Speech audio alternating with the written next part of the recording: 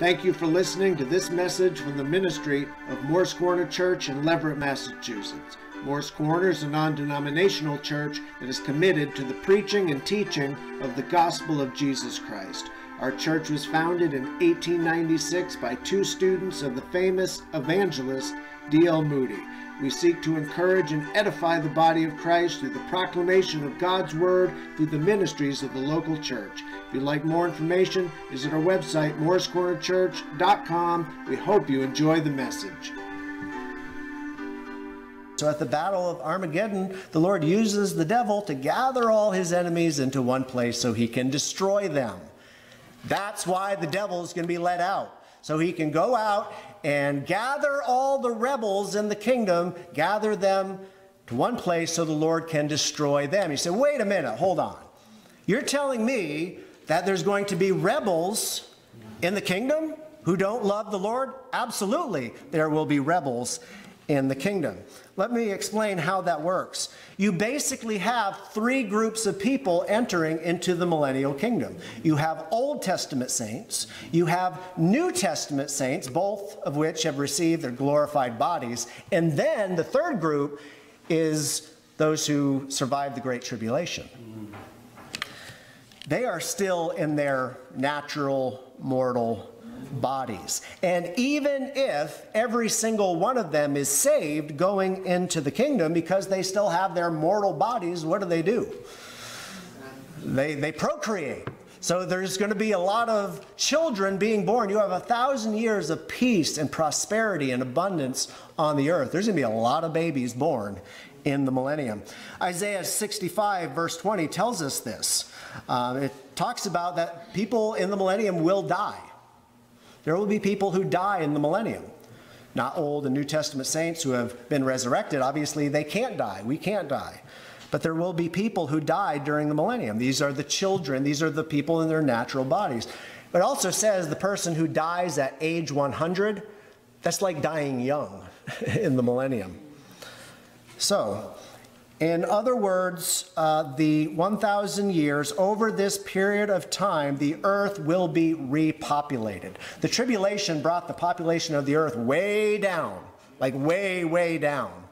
During the millennium, it's going to be repopulated. So, even though it is a perfect environment with Jesus himself ruling and reigning with a rod of iron, there's still a problem. What's the problem? These people in their natural mortal bodies, they still have the sin nature. They're going to be conforming. There's not really any bad influences. The devil's bound. Jesus rules and reign, reigns with a rod of iron. If anyone does get out of line, it's going to be swift and it's going to be dealt with. So they're conforming on the outside, but on the inside, there's rebellion in their heart. Not everybody, but there's going to be enough who are rebels in their heart against the Lord, and the Lord knows it. So he lets the devil out to gather them all together. So basically, when the, the devil is released, that rebellion in their heart will quickly bubble up to the surface. Look at verse 7. Now, when the thousand years have expired, Satan will be released from his prison and will go out to deceive the nations which are in the four corners of the earth, Gog and Magog, to gather them together to battle. This is the final battle of Gog and Magog, final battle on the earth, whose number is as the sand of the sea. And they went up on the breadth of the earth and surrounded the camp of the saints and the beloved city and fire came down from God out of heaven and devoured them. So that's what the devil does go out, gather all the enemies of God together into one place, just like he did at the battle of Armageddon. So the good news is, as soon as this rebellion gets going, it's crushed immediately. And now, okay, now the end will come. You just make a note of this. You don't have time to turn there. In 1 Corinthians 15 24 through 26, the Apostle Paul says this Then the end comes when he, that is Christ, delivers the kingdom to God the Father, when he puts an end to all rule and authority and power. For he must reign till he has put all enemies under his feet. There's still one enemy that remains. And what is that enemy? That enemy is death. Death will finally be destroyed. Death itself will be cast into the lake of fire. This is point number three the final judgment. Look at Revelation 20, starting in verse 10. The devil who deceived them was cast into the lake of fire and brimstone, where the beast and the false prophet were. No, that's not what it says. Where the beast and the false prophet are, they're still there. And they will be tormented day and night forever and ever. Then I saw a great white throne, and him who sat on it, who, from whose face the earth and the heaven fled away, and there was found no place for them. And I saw the dead, small and great, standing before God, and the books were opened.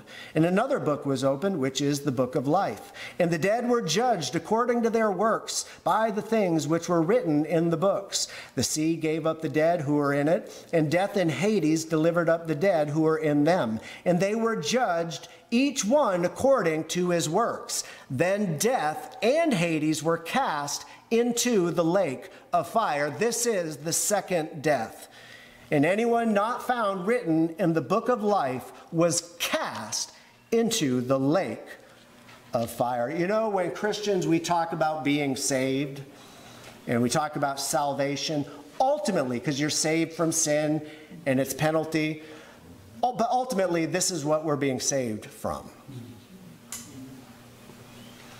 This is what Christ came to deliver us from, ultimately. So if there is anyone listening who has never put their complete trust in the death, burial, and resurrection of Christ. What are you waiting for? You know, tomorrow is not guaranteed for anyone. Because once a person has slipped out into eternity, their fate is sealed, so to speak. The Bible says if you would confess with your mouth the Lord Jesus and believe in your heart that God has raised him from the dead, you will be saved. There is salvation from the lake of fire. And we don't want anyone to go to the lake of fire. A lot of, a lot of preachers won't preach this book. A lot of churches avoid this book. If you love someone, you tell them because you don't want them to go there. We preach this because we don't want anyone to go to the lake of fire. Now we get to point number four. The end of Revelation chapter 20, the final enemy, death, has been destroyed. Death itself is cast into the lake of fire, and now the end will come. Now the eternal state is about to be ushered in. Look at Revelation 21, verse 1. Now I saw a new heaven and a new earth, for the first heaven and the first earth were passed away. Also, there was no more sea. Then I, John, saw the holy city, New Jerusalem, coming down out of heaven from God, prepared as a bride adorned for her husband. And I heard a loud voice from heaven saying, Behold, the tabernacle of God is with men, and he will dwell among them, and they shall be his people. God himself will be with them and be their God. And God will wipe away every tear from their eyes. After everything that's happened, there's going to be a lot of tears that need to be wiped away. And God will wipe away every tear from their eyes, and there shall be no more death, nor sorrow, nor crying.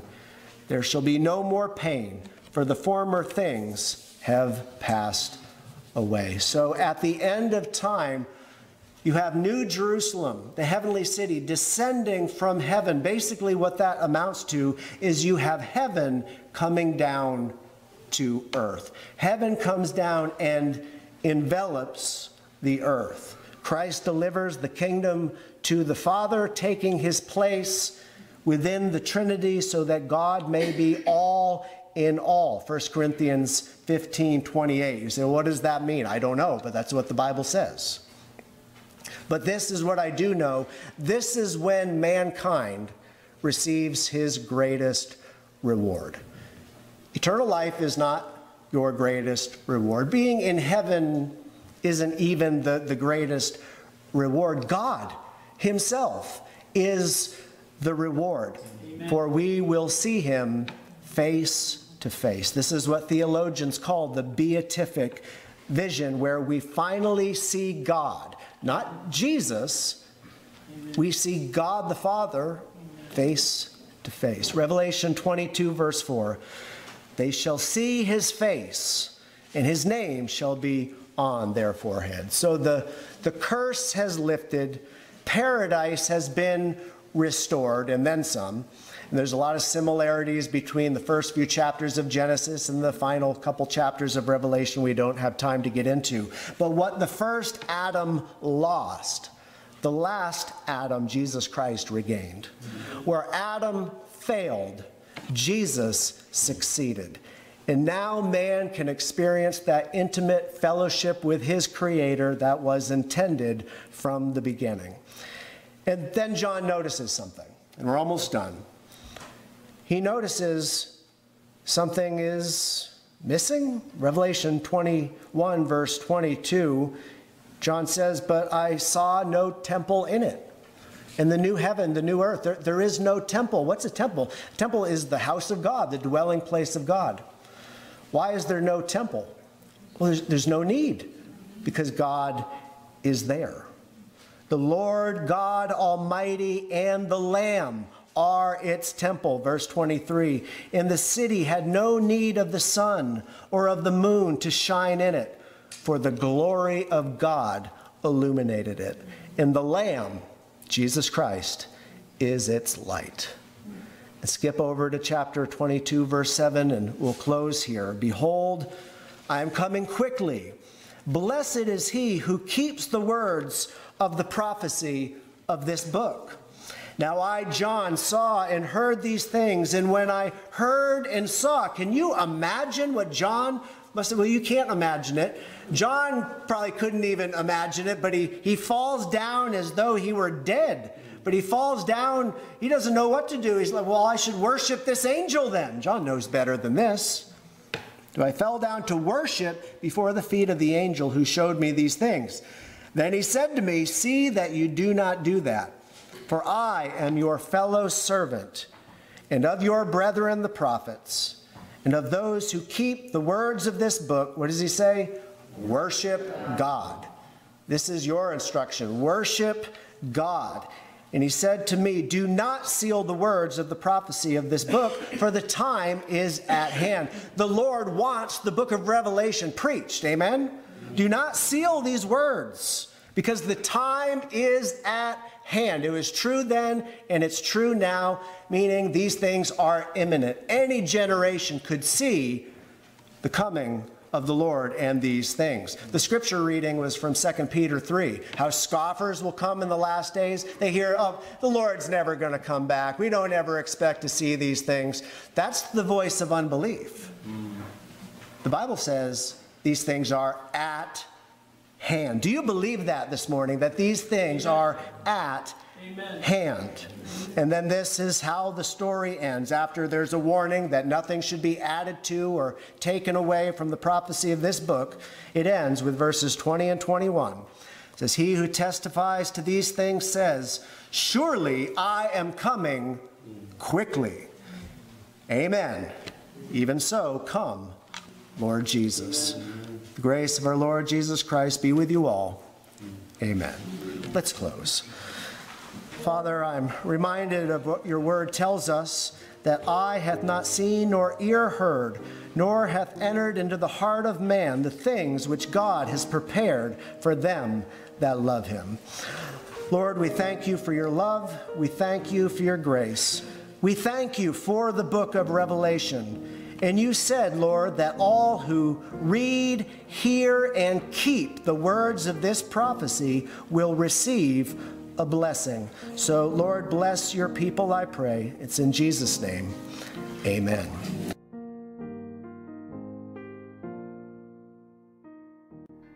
Thanks for listening. I'm Pastor Michael Grant from Moores Corner Church. If you'd like to listen to the complete message or if you'd like more information about the ministry, visit our website, moorescornerchurch.com. And we'd love to have you join us some Sunday morning here in Leverett. Until next time, may the grace of God be with you.